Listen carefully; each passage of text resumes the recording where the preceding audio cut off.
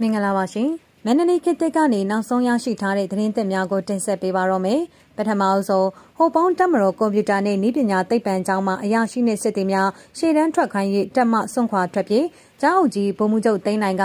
တက်ပြေးအလွန်များပြားမှုသတင်းဖုံးဖိထားတဲ့သတင်းကိုတင်ဆက်ပေးပါမယ်ရှမ်းပြည်နယ်တောင်ပိုင်းကိုပအိုးကိုပိုင်အုပ်ချုပ်ခွင့်ရဒေသဟိုပုံးမြို့နယ်တက်မတော်ကွန်ပျူတာနဲ့နည်းပညာသိပ္ပံကျောင်းတက္ကနာမအရာရှိနဲ့စစ်သည်များဟာရှေ့ထွက်ခိုင်းနေ၍ ရှေ့တန်းထွက်ခိုင်းနေ၍တမဆွန့်ခွာထွက်ပြေးမှုများပြားနေကကျောင်းအုပ်ကြီးပုံမှုချုပ်သိန်းနိုင်ကတက်ပြေးများပြားမှုသတင်းများကိုစစ်ကောင်စီထံမတင်ပြဘဲဖုံးဖိထားကြောင်းတက်သတင်းရင်းမြစ်ကပြောဆိုပါရယ် 2024ခုနှစ်ဖေဖော်ဝါရီလအတွင်းမိုင်းပုံဟိုပုံစီဆိုင်မြို့နယ်များမှာတော်လန်ရေးတပ်များနဲ့စစ်ကောင်စီတပ်များအကြားတိုက်ပွဲများပြင်းထန်ခဲ့ပြီးရင်းတိုက်ပွဲများမှာဟိုပုံတက်မတော်ကွန်ပျူတာနဲ့ဤပညာသိပ္ပံကျောင်းမှာအရာရှိနှင့်စစ်သည်များကိုပါရှေ့တန်းသို့ထွက်ခိုင်းခဲ့ကြောင်းထို့သို့ရှေ့တန်းသို့ထွက်ခိုင်းသည့်အတွက်အရာရှိနှင့်စစ်သည်အများအပြားဟိုပုံတက်မတော်ကွန်ပျူတာနှင့်ဤပညာသိပ္ပံကျောင်းမှထွက်ပြေးကြကြောင်းသိရှိရပါသည်။ ဒီနေ့ဖေဖော်ဝါရီလမှာမိုင်းပုံဟိုပုံစီဆိုင်မျိုးနယ်တွေမှာဖြစ်ပွားခဲ့တဲ့တိုက်ပွဲတွေကြောင့်တက်မတော်ကွန်ပျူတာနဲ့ဤပညာသိပ္ပံမှာစစ်စင်ရေးတာဝန်မထမ်းဆောင်လိုတာကြောင့်ဗိုလ်မှူးဗိုလ်ကြီးတွေနဲ့စစ်သည်တွေများစွာထွက်ပြေးကြတဲ့စစ်စင်ရေးကာလအတွင်းတက်မှထွက်ပြေးမှုတွေကိုအထက်ဌာနတွေကိုအစစ်အစစ်တင်ပြမှုမရှိဘဲကျောင်းအုပ်ကြီးဗိုလ်မှူးချုပ်သိန်းနိုင်နဲ့အရာရှိကြီးတွေကဖုံးကွယ်ထားခဲ့ပါတယ်ဟုတက်သတင်းရင်းမြစ်ကဆိုပါတယ်။ တက်မှထွက်မပြေးခဲ့ကြတဲ့အရာရှိနဲ့စစ်သည်များမှာမိုင်းပုံဟိုပုံစီဆိုင်မြို့နယ်တိုက်ပွဲများတွင်ပါဝင်တိုက်ခိုက်ခဲ့ရပြီးတေဆုံးခဲ့မှုအများပြားလဲရှိကြောင်းသိရှိရပါတယ်။မပြေးတဲ့စစ်သည်တွေကတော့အထက်အမိန့်ကြောင့်ကြည်စံကြမှာကက်ခဲပင်ပန်းစွာတာဝန်ထမ်းဆောင်ရတဲ့တည်တဲ့သူတွေလည်းတေကြတယ်။အဲဒီလိုတက်ပြေးတွေအများကြီးဖြစ်ခဲ့တာကိုအထက်အရာရှိကြီးတွေကအထက်ကိုလည်းမတင်ပြဘဲအခုချိန်ထိမသိအောင်စောင့်နေကြတယ်။မသိချင်အောင်စောင့်နေကြတယ်။စစ်စင်ရေးတာဝန်ရှောင်လဲမှုကိုအရေးယူတာမျိုးတက္ကနာမှာမလုပ်ဘူးဟုတက်တဲ့ရင်းမြစ်ကဆိုပါတယ်။ ယခုကစစ်စင်ရေးကာလလွန်မြောက်သောအခါတက်မှထွက်ပြေးတဲ့အရာရှိနှင့်စစ်သည်တို့ဟိုပုံတက်မတော်ကွန်ပျူတာနှင့်ဤပညာသိပ္ပံကျောင်းသို့ပြန်လာကြကြောင်းထို့သို့ပြန်လာသူများကိုလည်းကျောင်းအုပ်ကြီးဗိုလ်မှူးချုပ်သိန်းနိုင်ကဒိုရိုတိတ်တိတ်ဖြင့်ပြန်လည်လက်ခံလျက်ရှိကြောင်းသိရှိရပါသည်။ ဟိုပုံးကတက်တွေကိုရှေ့တန်းမပို့တော့ဘူးဆိုမှတက်ပြေးတွေပြန်လာကြတယ်တက်ပြေးသွားတဲ့သူတွေကိုလည်းစစ်စည်းကမ်းဥပဒေနဲ့အညီအရေးယူခြင်းမရှိဘူးကျောင်းအုပ်ကြီးနဲ့အထက်အရာရှိကြီးတွေကသက်ဆိုင်ရာစတက်အစင်စင်အလိုက်ထိန်ချန်လက်ခံထားကြတယ်တခြားလူတွေကိုလည်းမသိချင်အောင်ဆောင်ခိုင်းနေပြန်လာတာကိုတောင်ကျေးဇူးတွေတင်နေကြတာစစ်တပ်ကအဲ့ဒီလိုတက်ပြတ်နေတဲ့ဟုတက်သတင်းရင်းမြစ်ကရှင်းလင်းပြောဆိုကြောင်းသိရှိရပါတယ် ဆက်လက်တင်ဆက်ပေးမယ့်သတင်းအကြောင်းကတော့ဖိလစ်ပိုင်ကမိမိပိုင်နက်ကိုအာတုံခွန်ဆိုင်ကာကွယ်မယ်လို့သမရဖာဒီနန်မာကုစ်ဂျူနီယာပြောတဲ့သတင်းကိုတင်ဆက်ပေးပါမယ်။ဖိလစ်ပိုင်နိုင်ငံကမိမိပိုင်နက်ကိုအာတုံခွန်ဆိုင်ကာကွယ်ဆောင်ရှောက်မယ်လို့တရုတ်နိုင်ငံနဲ့ရေချောင်းအငင်းပွားမှုကိုကိုးကားပြီးသမရဖာဒီနန်မာကုစ်ဂျူနီယာကပြောပါတယ်။ဖိလစ်ပိုင်နိုင်ငံရဲ့ပိုင်နက်နယ်မြေကိုလေးစားသမှုမရှိတဲ့ကျူးကျော်သူတွေကိုနိုင်ငံတကာအတိုင်းဝိုင်းရဲ့ဥပဒေနဲ့တာဝန်ယူမှုကထိန်းကျောင်းမယ်လို့ဘွဲရဗိုလ်လောင်းတွေကိုပြောကြားတဲ့မိန့်ခွန်းတစ်ခုတွင်သူကပြောပါတယ်။ ဖာဒီနန်မတ်စကိုကကျူးကျော်သူတွေဟာမြည်သူမြည်ဝါဆိုတာထုတ်မပြောခဲ့ပေမဲ့တောင်တရုတ်ပင်လယ်တွင်ဖိလစ်ပိုင်နဲ့တရုတ်ကြားတင်းမာမှုတွေအရှိန်မြင့်လာခဲ့ပါတယ်။တရုတ်ကရေအမြောက်အသုံးပြုတာကြောင့်ဖိလစ်ပိုင်တင်မောအမှုတန်းတွေဒဏ်ရာရရှိခဲ့တယ်လို့စစ်ဘက်သုံးလေးစာနဲ့ဖိလစ်ပိုင်လေယာဉ်တွေကိုဖိလစ်ပိုင်ရေရင်တွေကိုထိုးတာဟာအငင်းပွားရေပိုင်နယ်တွင်အန္တရာယ်များသောလုပ်ရက်တွေလို့ဖိလစ်ပိုင်ကပြောပါတယ်။ နှစ်စဉ်ရေချောင်းကုန်သွယ်မှုပမာဏဒေါ်လာ3ထရီလီယံရှိတဲ့တောင်တရုတ်ပင်လယ်ရဲ့ရေပိုင်နက်တွေကိုပိုင်ဆိုင်ကြောင်းတရုတ်ဖိလစ်ပိုင်ဘရူနိုင်းမလေးရှားထိုင်ဝမ်နဲ့ဗီယက်နမ်တို့ကပြောပါတယ်အပြည်ပြည်ဆိုင်ရာအနုညာတခုံရုံရဲ့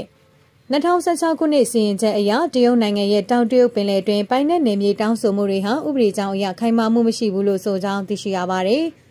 ဆက်လက်တင်ဆက်ပေးမယ့်သတင်းကတော့စစ်ကောင်စီထိန်းချုပ်ရာစစ်တွေမြို့တွင်မိုင်းအန်ဒီရဲ့စိုးရိမ်နေရတဲ့သတင်းကိုတင်ဆက်ပေးပါမယ်။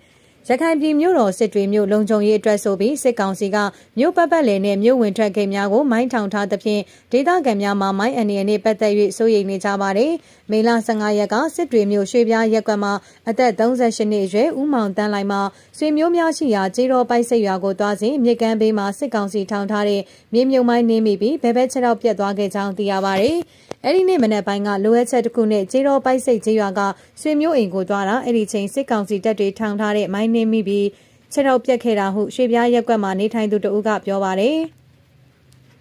ဥဦးမောင်သိန်းလိုက်မှာဒဏ်ရာပြင်းထန်မှုကြောင့်စစ်တွေစေယုံကြီးမှာဆေးကုသမှုခံယူနေရပါတယ်။စစ်တွေမြို့နယ်ထိစပ်နေတဲ့ပေါတော်ပုံနာကျော်ရတိတာမျိုးတို့ကိုအေအေကသိမ်းပိုက်လိုက်ပြီးနောက်စစ်ကောင်စီကစစ်တွေမြို့ရင်းမြို့ပြင်လုံခြုံရေးကိုတိုးချကမိုင်းများထောင်ထားခြင်းဖြစ်ပါတယ်။စစ်တွေမြို့မှာမိုင်းနေပြီးဒဏ်ရာရသူတွေရှိလာတော့မိုင်းအန်ရီကစိုးရိမ်စရာဖြစ်နေတဲ့အရင်ကဆိုစစ်တွေမြို့မှာမိုင်းထိတာမရှိသလောက်ပဲအခုကတော့မြို့ရင်းမြို့ပြင်နေရာတိုင်းမှာစစ်ကောင်စီကမိုင်းထောင်ထားတယ်လို့သိရတယ်ဟုစစ်တွေမြို့ကန်အမျိုးသားတအုပ်ကပြောပါတယ်။ ဧပြီလ20ရက်ကလည်းစစ်တွေဒေသခံ200ခန့်မှာမြို့မှတင်းဆောင်ကြခြင်းခန့်ကော်ကျွန်းရှိစစ်ကောင်စီတပ်ကပစ်ခတ်မှုကြောင့်ထွက်ပြေးကြရမှာမိုင်းနေမိပြီး၃ဦးသေဆုံးက10ဦးခန့်ဒဏ်ရာရရှိခဲ့ပြီးလူတရာကျော်မှဖမ်းဆီးခံခဲ့ရပါတယ်။အခုရက်ပိုင်းတွင်စစ်တွေမြို့ရွာကြီးတောင်ရွာကြီးမြောက်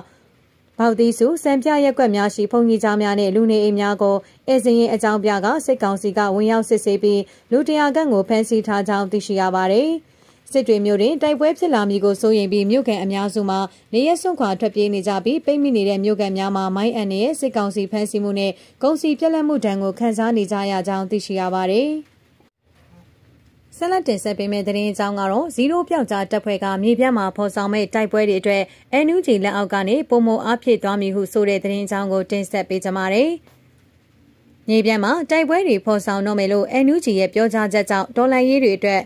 ပုံမအားဖြင့်ဆွမ်းဆွမ်းတမန်ပါဝင်သွားမယ်လို့ဇီရိုပြောက်ကြပြည်သူ့ကာကွယ်တပ်ဖွဲ့မြင်းချံရဲ့ခေါင်းဆောင်ကိုတက်ကြီးကပြောကြားပါတယ်။ကိုတက်ကြီးကမနေ့ကမေလ18ရက်နေ့ညပိုင်းမှာအမျိုးသားညီညွတ်ရေးဆိုရ NUG ကာကွယ်ဝင်ကြီးဦးရီမွန်နဲ့လည်းတွေ့ဆုံခဲ့ကြောင်းသတင်းတပ်ပုံအားသူ၏လူမှုကွန်ရက်မှာဖော်ပြခဲ့ပြီးတဲ့နောက်တရင်ဌာနကိုယခုလိုပြောကြားလိုက်တာဖြစ်ပါတယ်။ ဝင်းကြီးနဲ့တွေ့တဲ့အချိန်မှာလည်းသူကအားပေးစကားတွေပြောခဲ့ပါတယ်2024မှာတော့ကျွန်တော်တို့တော်လန်ရေးအင်အားစုတော်တော်များများဗျူဟာကြကြကွက်ပြည့်နေနိုင်မယ်လို့ယုံကြည်ပါတယ်လူကြီးတွေအကောင်းဆုံးစ조사နေတာလည်းတွေ့ရတော့အကောင်းဆုံးအရွေးတစ်ခုဖြစ်မှာပါဟုကိုတက်ကြီးကပြောကြားပါတယ် ဇီရိုပြောက်ကြားပြည်သူ့ကာကွယ်ရေးတပ်ဖွဲ့မြင်းကြံအနေဖြင့်အမျိုးသားညီညွတ်ရေးအစိုးရ NUG MOD လမ်းညွှန်ချက်အတိုင်းတိုက်ပွဲတွေဖော်ဆောင်နေတာဖြစ်ပြီးလက်ရှိတွင်အ धिक မစ်ရှင်များရပ်နားထားသည်မှာ9လနီးပါးရှိပြီဖြစ်တယ်လို့လည်းသိရပါဗျ။မကြခင်မှာအရင်လိုတိုက်ပွဲတွေပြန်လည်ဖော်ဆောင်တော့မှာဖြစ်ပြီးကိုတက်ကြီးကယခုလိုမစ်ရှင်တွေရပ်နားထားရတာက ရဲဘော်များအန်ရီကင်းကင်းနဲ့အဆက်မပြတ်တိုက်ခိုက်နေနိုင်ဖို့အတွက်လိုအပ်တဲ့စစ်လက်နက်ခဲယမ်းတွေနဲ့ရိတ်ခါတွေကိုအချိန်ယူစုဆောင်းနေတာဖြစ်တယ်လို့ကိုတက်ကြီးကဆိုပါတယ်။ကျွန်တော်တို့အနေနဲ့ရှေ့မှာတိုက်ပွဲတွေအများကြီးဖော်ဆောင်ခဲ့တယ်လို့ဆက်လက်ဖော်ဆောင်ဖို့ကိုလည်းအရှိန်ယူနေပါတယ်။ပြီးခဲ့တဲ့2023မှာလေမစ်ရှင်တွေအများကြီးတော်တော်များများကခဲ့တဲ့အတွက်ကုန်ကြစရိတ်က3500နဲ့3000ကျာကုန်ကြခဲ့တော့ပွဲကားဖို့ဆိုတာအတော်လေးအချိန်ယူဖြည့်ဆည်းရပါတယ်လို့ကိုတက်ကြီးကပြောကြပါတယ်။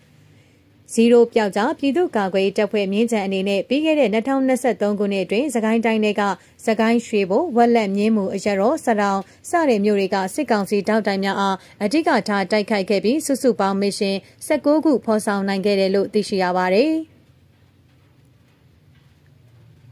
မကြခင်မှာလည်းတိုက်ပွဲတွေကိုပြန်လည်ဖော်ဆောင်တော့မှာဖြစ်တယ်လို့ကိုတက်ကြီးကပြောကြားခဲ့ကြောင်းသိရှိရ